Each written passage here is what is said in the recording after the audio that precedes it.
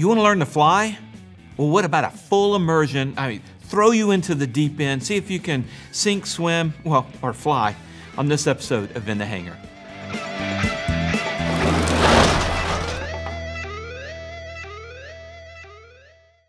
Hey everyone, I'm Dan Millican. Welcome to In the Hangar. We've got a special episode, special at least for me, because we're going to be talking about what I called flight camp. And this is where I took some friends of mine and we went and did a nine day full immersion training. Uh, before we do that, I want to mention our, our sponsors. We're brought to you by them. We can't do this without them. Check them out in the description below, and we'll have a little bit more at the end. So let me introduce to you our flight campers, our happy campers. So we have Journey, Ron, and Brad. Guys, thanks for, for coming on. This is really uncomfortable for them because these guys are all part of my crew. Um, I've been working with Ron and Brad for almost 20 years, and they're my camera guys. And and and Journey is, has recently come onto the team, and and so you guys work behind the cameras. How Yeah. fun is this? Terrifying. Terrifying, yeah. No, it's not that bad. It's fun. not It's, definitely fun. I don't know. I've been practicing for this moment for 20 years, watching everybody else. So I'm going to see if I can put it all together. Yeah. All right, so so what I did is, uh, you know, you guys knew me before, long before I was ever a pilot. Uh, a lot, you've known me more as not a pilot than since I've become a pilot. And you saw me go through the training. You saw- Experiences some of your weak points during flight. yes. You were there when I bought the 210, Yeah. and I started flying you guys to Yeah. different shoots. Um, we're still some of the guys that will still fly with you. yeah, you, you're the ones that are left Yes. that will actually fly There's with some me. that won't. Um, yeah, uh, Ron, I flew you over the Rocky Mountains. You got a little sick. We won't go into that. Yeah. Uh, Brad, you fl- we went. I remember Pennsylvania flying the crew up there for an oil field shoot Yeah. that we did. So lots of flying, and then I got my instructor, my CFI, and um, when I was learning to be a CFI, I actually gave some kind of lessons, as it were. Uh, they didn't count um, to some of you guys, but uh, then um, I got my my uh, instructor, and I remember giving you first lesson. The 210 is not the plane Probably not. train in. No, No, no, no. it's a little little complex. And I kind of told you, so all we could do was really work on some things like uh, how to how to what trim is about and straight and level and how to do turns and, and some of the more principle stuff. But we couldn't like beat up the pattern or anything like that. So I always wanted to train you guys, and um, so we decided, gosh, probably nine months ago that we needed a week to do this and that we would book in the week with intensive days of training. And you guys had to turn down work to be able to do that. And journey you came along um, and uh, you received a scholarship. Tell us about that Yes, I was a first recipient for Tailwind Waymakers, and oh my gosh. Okay, so back up, backing up a little bit. Um, I went to Dan's hangar because someone was there to film, and I asked if I could just sit in the back seat. We show up to his hangar, and he's like, "Journey, you want to fly my plane?" And I was like, "Me? What are you talking about?" Oh, okay. So I flew it. Of course, it became a discovery flight. And Dan did like 95% of the work. I did all the fun parts. And then we were getting gas, and he was like, Journey, would you ever do this? And I was like, I think so. He gave me a lot of confidence, and I was like, yeah, let's do it. And a couple days later, I started applying for scholarships, and Dan called me. He was like, hey, you should apply to this one. And I was like, okay, for sure. A couple days later, he's like, Journey, uh, check your email. So I did, and turns out I got it. Crazy. So he told me about the flight camp as well. I decided, why not? Let's join that. So um, he sent me the ground school information two days prior Yeah. to starting the class, and I was like, okay, awesome. First lesson, night and day different from the discovery flight. yeah, Dan, it was just like, all right, get in, go. I'm like, how? okay i did not teach that way I, Okay, i'm just going to say i did not all right So- go Honestly, kind of. Because I've seen other first lessons, like people go in the simulator, they have like all this intensive like ground school before. They're like, all right, you're gonna do this and this and this. Not Dan. Dan was just like, all right, God, hurry up.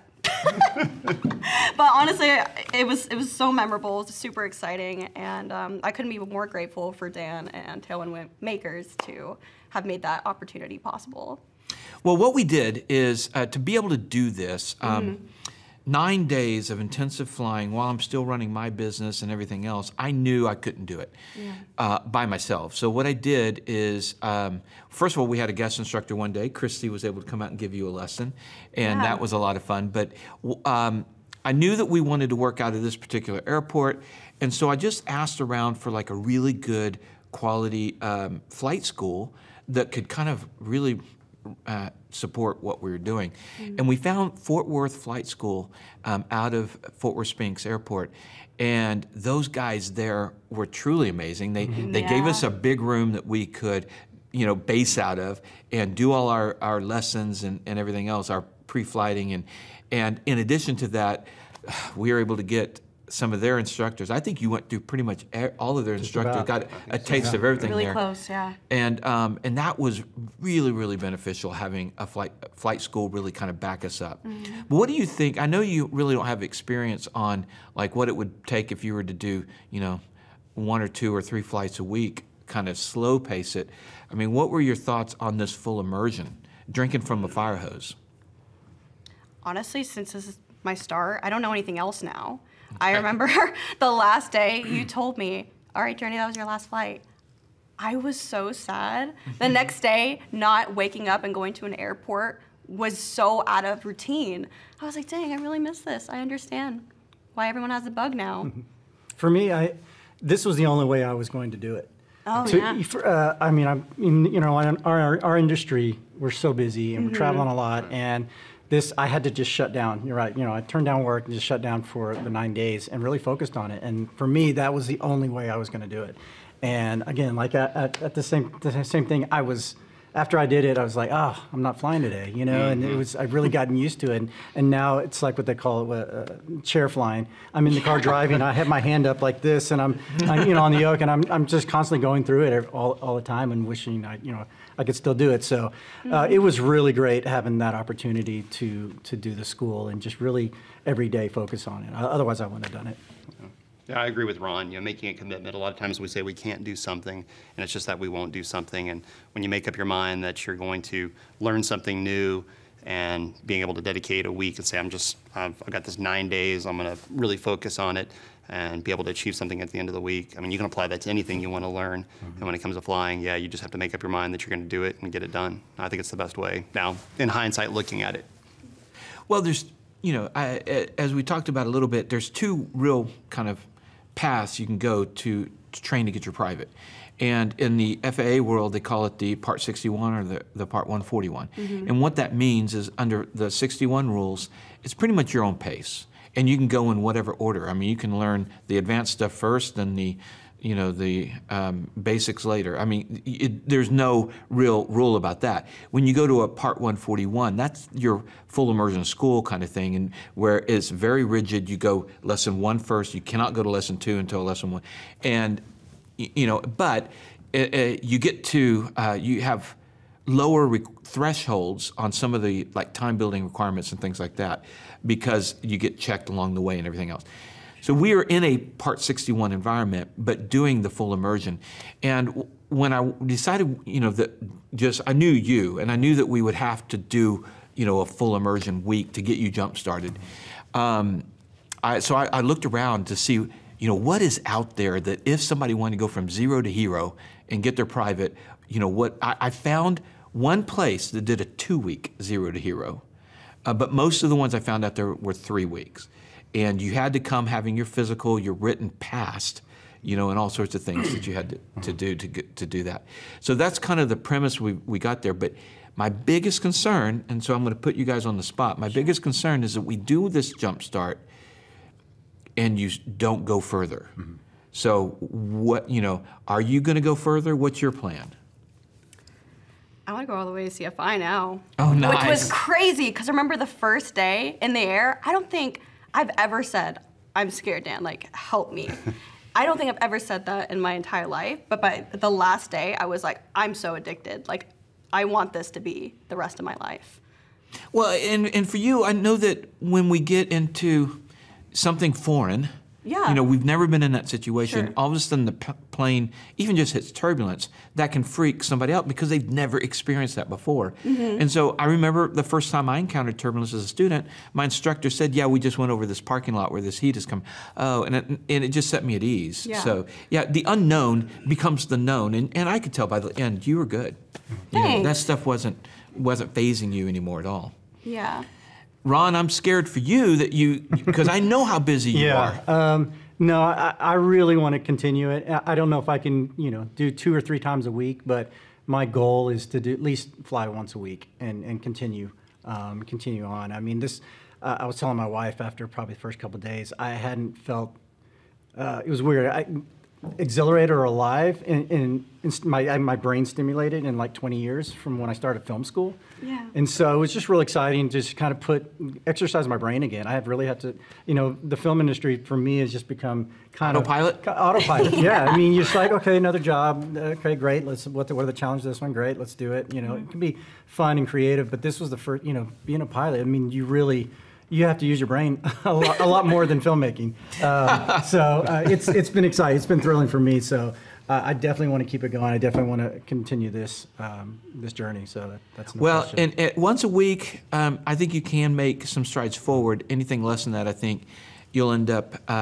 The lessons will just rehash the last lesson. You'll be, get get stuck in a cycle where you're not really advancing in your training because you're having to remember what you did last time. Right. So I, I do think it's important that, that once a week is probably minimum. That's minimum, yeah. And and uh, you know, I, but but do it, please do it, because you know you have have the skills. I mean, you could I could tell your confidence. I mean, after the first little bit, I mean, you're very very good with your high hand-eye coordination, and um, your fine motor skills, all your gross motor skills, everything is there. How did you feel in doing that? Um, and I think I told you, like a few days before leading up to the camp, I was like super nervous. I was like, I, I don't don't know if I can continue it or do it. I, I was just, for some reason, there was just some block in my in my head. And then as soon as the first flight, I was like, it kind of came all back to me, and I was just like, no, I, this is this is exciting. Um, and I and I was telling them, you know, fly, the physical part of flying plane, I think would come natural to me. Uh, I, um, Yeah. But it's it's the all the other stuff you have to learn. Radios. Radios, communications. Yeah. yeah. And actually, by the end of the week, I felt a lot more confident uh, about radio communication than I did at the beginning of the week, for sure. Uh, so that was a big hurdle for me. Is if I could, you know, get past that, then I would, I would uh, not be scared anymore and continue. So uh, I, I, I'm super excited with my progress. I hate that I didn't get to solo at the end of it. Um, I knew I could. You- Um, yeah, and, and you would have yeah. had you had the medical. yeah, I, yeah, getting, getting my medical in time. So Yeah. But yeah, that was great. Uh, Brad, I mean, again, I, I've known you guys for, for two decades. Right. Um, You know, I know you guys very, very well. Um, and um, I, I was worried, ab- and I'm not as worried about you continuing your training because um, you are so methodical. Yeah, that too.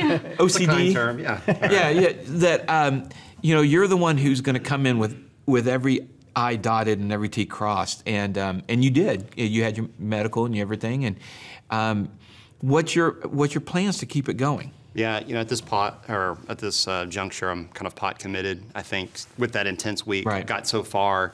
Um, once I start a project, I, I pretty much need to see Yeah, it exactly. through. Yeah, and and That's the I- OCD part. Like you know, you, you leave one thing hanging, you're going to have to fix it. Absolutely. But I really enjoy flying. Um, flying's been in my family for a little bit. My dad was a pilot um, for uh, uh, an airline. And uh, so it's there. It's been, you've, you've watered that seed and it's growing. And, and yeah, I need to finish through um, getting it all done. Uh, I'm, for 2023, I'm trying to be a lot more intentional about my time and how I apply my time. And so I'm going to be making time to continue the training and, and get my license. Now you live a, a little further away from that particular airport. You live much closer to another airport that has flight training as well. What are your plans? Are you going to go to that airport, or are you going to come back to, to Fort Worth Flight School? Well, you know, Fort Worth Flight School treated us so well, and I got to go through a lot of different instructors, just who was available that day, and it was it was a really unique experience to be able to go through and uh, sample them. I would know enough now to go to the flight school down there and probably do a little kind of pre-interview to see if I gel well with them, but. Um, the folks at Fort Worth Flight School are so great. I mean, it might be worth the drive just to keep going back and training with them. Um, yeah. I'm They in a were- yeah, similar boat. Yeah. yeah. we've considered the same thing. Oh, you're really far. You're like an Yeah, really. like an hour and a half or but so. they're Yeah. just that good. Yeah. And that was You know? great. That was great. It was great getting a different instructor almost every day, and, and Yeah. because every one of them taught differently, but every one of them was great. And so I, Right. you, Mm-hmm. you just everyone did- had a, had a different uh, you know technique or a different style, and that was great. So I mean, I mean, I don't think there was. It was like, oh, I think maybe this is the one I want to stick with, but it was really, it's like they were all great. So Yeah. it's, it would be hard to kind of choose, Right. You know, who do you stick with? But it's just like they're all good. And I think I would encourage anybody that's, that's thinking about going through flight school to sample a few instructors, to Yeah. work with them, to see what your learning style is and what their teaching style is, and to, to find the right mesh. Because I think that's going to pro- progress your um, progress a lot faster. Absolutely. Hardest part of flight camp. We'll start. At, we've been going this way. We'll go with you, Brad. Probably the hardest part, a lot of people say, is like radio work. Um, but I'll tell you what it is. It's not specifically radio work. It's because you, with flying, you're experiencing so many new things that have to be done simultaneously. And I think it's, you know, multitasking, I don't know if that's a misnomer, if you can truly multitask, but what I think it more is is a division of your time, how to balance and budget your time between all the new things that you're learning. And each individual task really isn't hard to learn. It's balancing them all at the same time and getting comfortable with them, and that comes with repetition. Um, so that's kind of my viewpoint on that. Yeah, I would say the same thing. The communication was probably, and the ground school for me. You know, just committing. like, ground- It, it was more about time management for me. I'm the worst at time management, so it's like getting, getting enough ground school to, to know what I'm gonna, you know, I'm going to be doing ahead of time was was hard for me. But uh, once once I was there, I just couldn't wait to get in the plane and, and really practice. So, yeah. I think mindset and then introducing something so foreign into your daily routine. I mean, I feel like I'm an adrenaline junkie, but even that first lesson, I was like, wow, this is so new. Like, I really need to get used to this and quick because I need to go back on the ground, survive this. So, but yeah. Well, guys, it was quite a week. It was. Um, um, it was emotional. What It- about you? What was the hardest thing for you to teach us? Come on, who's, Dan. giving, who's giving this interview? um, okay, uh, there were a couple pretty hard things. Um, making the time was probably the number one hard thing for me because running a business, we've got a lot of things going on in the business, and managing that at the same time. And then we're And- filming the whole thing, so we're Oh, putting yeah, cameras that's on all the planes. Oh, yeah, the lesson. GoPro's And, you overheating, maybe that yeah, one. Yeah. So doing all that stuff, um, and in teaching, you know, you guys, um, I was really thankful that I could s- get spelled by the Fort Worth Flight School guys um, because um, uh, I could not have done the week teaching, you know, two or three flights a day, and really we were looking at even. There were times to see. Times we did five flights in a day. That, Yeah. that some of you got two in a day. Right. We never did six. So we never did a day where each Everyone of you flew two, twice, but we did do some where two of you flew twice. Yeah. So um, I could not have done that, n- not even close. Um, I was really, I was really uh, s- exhausted after two flights, and and so I, I never did more than two flights with you guys because I was just like I can't do it. Um, I'm amazed at, at the guys at Fort Worth Flight School that, I mean, they just hop in and do it. Yeah. You know, I don't know how many It's like times. clockwork. yeah, it's it's crazy. So, all right, what would you say to anybody who's thinking about learning to fly? Um, is this a good way to do it? Um, you know, what do you think? I think so. I mean, I, at least for me, my whoever you know, personality-wise, who if you're someone who kind of puts off things and is worse at time management, this for me this was great. Again, like I said, I probably wouldn't have done it any other way, but it really ignited something, jump-started for me, and I was able to commit to it. Uh, and we, by the end of the week, I almost had 20 hours uh, Yeah. of, of, of flying just in that in that well eight days or nine days. Yeah, I was at So- 16. Yeah, so that We was were- that was we were up really there. that was really great um, to, to really jumpstart. So I say, but definitely, if, if you're on the fence about it, just do it. You know, really commit to it and have fun with it. All right. One, th- one thing that I discovered as well, doing the ground school ahead of time, is I was going through each section and really trying to master each section before I moved on. And what I discovered about halfway through, it's, it was better to kind of, at a quicker pace, go through everything so you got an overview of everything you're going to be experiencing and learning, and then go back to the beginning and really start drilling down in there. So when you get in the airplane, you kind of have the big picture of what you're trying to accomplish. We all know we're, we're flying, but the individual components, you understand how one feeds into the other and what the responsibility of everyone is and how it all meshes to, to make airspace work. And you can apply it. Yeah. Yeah. It, which reminds me, um, you know, I recommended you guys uh, do ground school, uh, Gold Seal. Yeah. Um, how how was that? It was it was really good. They I was able to really pull it up just about any location and, and study with it. Um, sometimes I would just listen to the audio in the background. Other times I'd be more engaged in it. Uh, but it was easy. They had lots of animations and video and a good balance of, of learning materials. It Yeah. was yeah, it was good for me. Uh, I mean, I, I'm I'm better at one on one, and I was able to it was able to give give me good information and get through it. And so I had an overview, like you said. Right. Uh, but a couple times when we were there and did uh, some of the instructors would do a ground school, it they were able to kind of it was click for me much better. So. Uh, online isn't as good for me, but it de- definitely gave. Uh, I I love the way Gold Seals is was set up, um, but having that one-on-one with an instructor is just helps it solidify the information better for me. I'm a huge systems person, so I really appreciated how straightforward it was.